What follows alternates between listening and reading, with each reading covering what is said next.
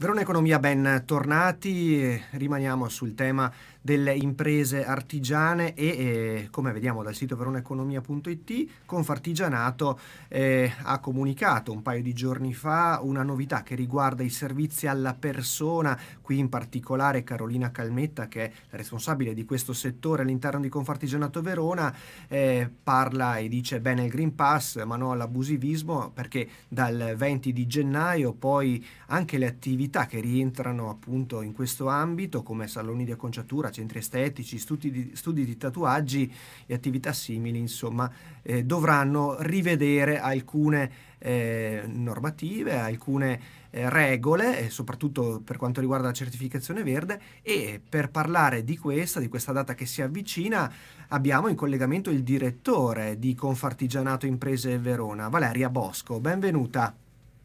Grazie. Allora, direttore, dicevamo il 20 gennaio è una data importante per molte delle vostre attività associate perché stiamo parlando delle aziende che si rivolgono eh, con servizi alla persona e che da, da questa data appunto dovranno introdurre eh, il controllo del certificato verde, del Green Pass. Ecco, cosa accadrà dopo questa data? Allora, eh, alla data del 20 di gennaio e fino alla fine dello stato di emergenza che in questo momento è fissato per il 31 di marzo, eh, i nostri oltre 2000 negozi e attività di servizio alla persona che ricordiamo sono eh, i parrucchieri, quindi gli acconciatori, i barbieri, i tatuatori e le estetiste, dovranno eh, in aggiunta ai dispositivi sicurezza e al tracciamento della clientela eh, e l'utilizzo ovviamente delle mascherine il controllo della temperatura, controllare anche il Green Pass base dei propri clienti. Quindi il Green Pass che si ottiene eh, con un tampone e dura 48 ore oppure attraverso la vaccinazione o la guarigione eh, dal Covid. Eh, stiamo parlando di una platea di c- oltre 5.000 addetti che quindi saranno impegnati in questa procedura all'accesso del negozio. Eh, è una procedura che ehm, crea delle difficoltà, eh, soprattutto eh, laddove ci siano dei clienti abituali, perché ovviamente ogni mm. volta che anche il cliente abituale frequenta eh, il salone o comunque il negozio dovrà presentare questa certificazione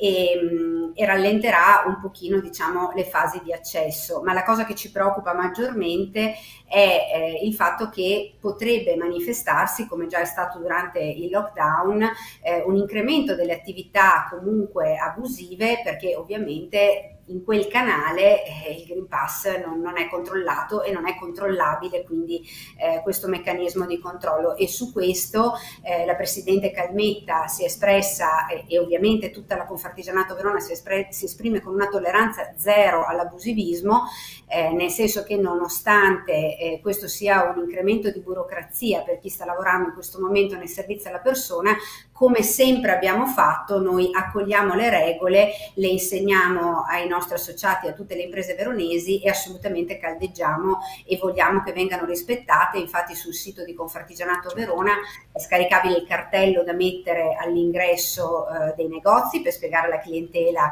eh, questa cosa e ovviamente siamo disponibili per spiegare eh, come bisogna comportarsi nel caso di dubbi. Eh, ci auguriamo naturalmente che questo ulteriore dire, incremento della burocrazia eh, agevoli e aiuti il superamento delle fasi acute della pandemia e porti il prima possibile a un nuovo regime di normalità per i nostri punti vendita dei servizi alla persona. Tra l'altro il fenomeno dell'abusivismo potrebbe sembrare un fenomeno marginale, ma vista la fermezza con la quale eh, vi siete esposti, chiaramente segnalando eh, questa ipotesi chiaramente da scongiurare, evidentemente non è solo marginale, è un fenomeno abbastanza diffuso purtroppo.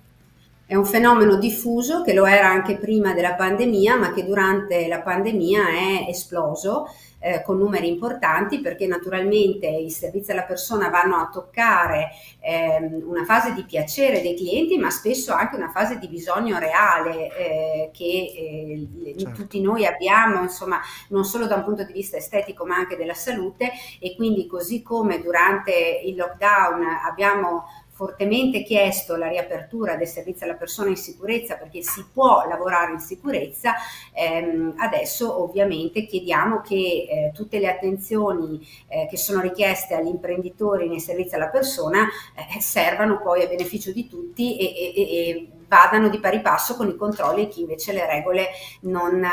non le rispetta. Tra l'altro eh, Confartigianato Imprese Verona è anche impegnata nei corsi di formazione a qualifica per chi lavora in questo settore, per cui noi accogliamo e l'abbiamo sempre fatto anche durante questi due anni giovani imprenditori e imprenditrici che vogliono aprire delle attività, in particolare i tatuatori sono esplosi negli ultimi mesi perché è un tipo di attività che piace, che funziona molto bene e quindi noi che lavoriamo molto sulla formazione, sulla qualifica, sul rispetto delle regole, abbiamo bisogno che poi eh, gli organismi di vigilanza assolutamente controllano chi invece non lo fa, perché altrimenti eh, ovviamente è, è, è un, volano che certo. incrementa ancora di più l'abusivismo. Ecco, quindi ehm, ci sono delle difficoltà, come sempre l'imprenditore artigiano eh, è resiliente e rispetta le regole e l'associazione lavora da questo punto di vista, bisogna che i controlli ehm,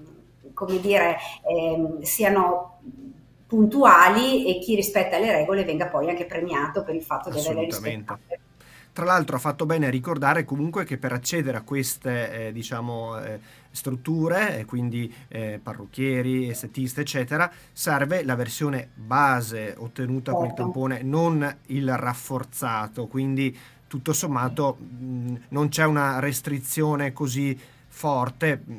quindi anche con un semplice tampone molecolare o antigenico si può accedere. Tra l'altro Confartigianato va incontro anche eh, con dei rimborsi se non sbaglio, no? Sì, infatti eh, in aiuto a chi lavora nel comparto artigiano, ai titolari del comparto artigiano, eh, San in Veneto, che è il nostro fondo sanitario eh, appunto per chi opera nel settore dell'artigianato, anche per il 2022 ehm, rimborsa i tamponi per i titolari, soci e dipendenti delle imprese artigiane, questo vale per tutti. E quindi eh, quegli imprenditori e quelle imprenditrici che vogliano attuare nelle proprie attività di impresa degli screening del personale possono farlo contando eh, sui rimborsi di San in Veneto e anche chi lavora nel comparto artigiano può ehm, chiedere rimborsi, noi abbiamo uno sportello attivo in Confartigianato per cui poi eh, ci possono scrivere e viene fatto un rimborso anche di questi tamponi. Stiamo lavorando per ehm, rinnovare anche le campagne Riaprire Sicuri che rimborsavano anche i dispositivi sicurezza e mai così vicini